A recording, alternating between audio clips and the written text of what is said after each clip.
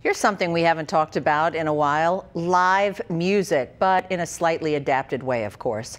Valley View Rotary's Moon Tunes has joined a local collaboration called Garage Sessions to bring local bands online. Well, the Garage Sessions scheduled kickoff with the well known band, Them Coulee Boys, on February 12th.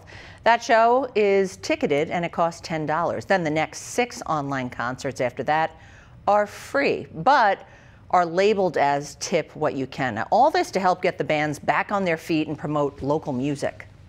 A lot of our musicians have had no acts since last March, and a lot of them, that's their income, is uh, they're, they're active musicians.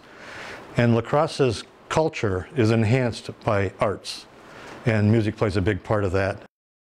And on our website, we'll have more information on how you can attend these virtual concerts and see the full list of bands in the series.